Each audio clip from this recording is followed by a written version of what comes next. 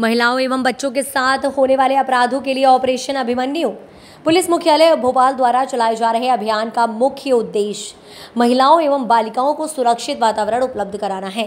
समाज में लड़कों, पुरुषों को न सिर्फ़ महिला संबंधी अपराधों के प्रति जागरूक करना है, बल्कि इसके साथ साथ उनको संवेदनशील बनाकर उनमें रूढ़िवादी, मुक्त, सकारात्मक व्यवहार विकसित करना है। आमजन में जागरूकता लाने के लिए प्रदेश स्तर पर विशेष जन जागरूकता अभियान अभिमन्यु संचालित किया जा रहा है। मध्य प्रदेश सहित शिवपुरी ज़िले में अभिमन्यु अभियान का शुभारंभ किया गया। पुलिस मुख्यालय के निर्देशों पर शिवपुरी पुलिस अधीक्षक रघुवंश सिंह भदौरिया द्वारा ज़िले के समस्त थाना क्षेत्रों में इस अभियान को व्यापक स्तर पर चलाए जाने एवं महत्वपूर्ण स्थानों पर अभिमन्यु कटआउट के सेल्फी पॉइंट बनाने जाने के निर्देश दिए गए हैं। महिला सुरक्षा के मार्गदर्शन में पोहरी पुलिस द्वारा नगर में जागरूकता अभियान अभिमन्यु संचालित किया जा रहा है।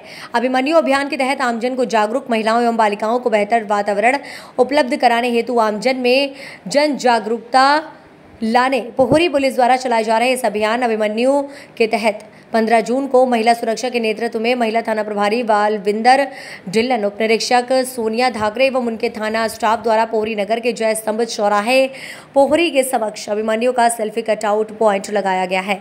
इस दौरान छात्र, छात्राओं एवं आम जनता को अभिमन्यु अभियान के बारे में विस्तृत से जानकारी दी गई।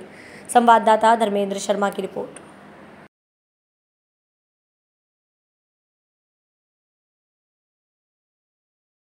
न्यू के तहत जो संदेश दिया गया, क्या कुछ है ये? पुलिस मुख्यालय के आदेश अनुसार एक अभियान चलाया जा रहा है, जिसमें पुरुष और महिलाओं की सहभागिता को देखते हुए महिलाओं के प्रति जो संवेदनशील अपराध हो रहे हैं, उनके संबंध में जागरूक किया जा रहा है। लोगों को बताया जा रहा है कि इन अपराधों के प्रति संवेदनशील रहें, जिससे अपराधों के संबंध में रोकथाम में, क्या कहते हैं, बहुत अच्छी मजबूती पुलिस को मिले।